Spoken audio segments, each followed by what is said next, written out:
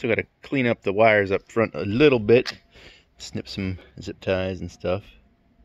But uh, successfully electrified the puppy scooter.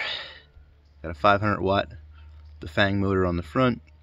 Now it won't uh, pull me up the biggest, biggest hills, but it really assists if I kick. And with her pulling, it should be good. Has a headlight. Seems pretty bright. There's the thumb throttle here. This is my fork lockout. Big old 48 volt battery. I think it's like 15 amp hour.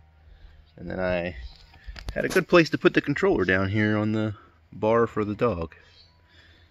Which worked out. It's normally meant to be put on a seat tube. I've seen some people put them on the front down tube.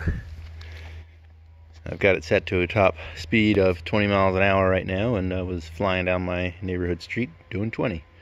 So this should be good for when I take her out and uh, we get to a couple little hills and we just need a little bit of an assist.